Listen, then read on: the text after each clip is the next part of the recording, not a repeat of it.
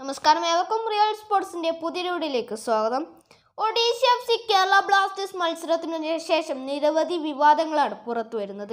അതിൽപ്പെട്ട ഒന്നാണ് കേരള ബ്ലാസ്റ്റേഴ്സ് താരമായ ജെസ്സൽ കാർണേറോയെ ഒഡീഷ എഫ് സി താരം തുപ്പിയ സംഭവം. എന്നാൽ ഈ തുപ്പിയ സംഭവത്തിൽ Kerala Blasters I A F എഫിന് പ്രതിഷേധവുമായി എത്തിയിരിക്കുകയാണ്. മത്സരത്തിനിടെ ഒഡീഷയുടെ മധ്യനിര താരമായ ക്രാൻസിക്കിയാണ് ക്യാപ്റ്റൻ കാർണേറോയെ തുപ്പിയത്. മത്സരത്തിൽ ഒഡീഷ എഫ് സി ഒന്നിനെതിരെ രണ്ട് ഗോളിന് കേരള ബ്ലാസ്റ്റേഴ്സ് പരാജയപ്പെടുത്തിയിരുന്നു. മുന്നൂറ്റി പത്തൊമ്പത് ദിവസത്തിനു ശേഷം ബ്ലാസ്റ്റേഴ്സിന്റെ ആദ്യ വിജയമാണിത്.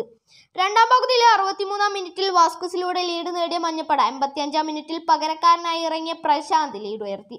സ്റ്റോപ്പേജ് ടൈമിൽ നിഖിൽ രാജ് ജഗ്ഗർനൌട്ട്സിന് വേണ്ടി ഒന്ന് പിൻവലിച്ചു.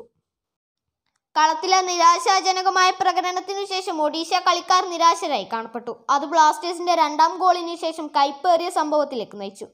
Malaysian midfielder ലീഡിൻഡൻ കാൻസിക്ക് K B F C captain Jessel കാർണേറോയെ തുപ്പിയതായി ആരോപണം. പ്രശാന്തും കൂട്ടരും വിജയ ഗോൾ ആശ്- ആഘോഷിക്കുന്നതിനിടെ സെന്റർ സർക്കിളിന് സമീപം റഫറിയുടെ പുറകിലാണ് സംഭവം.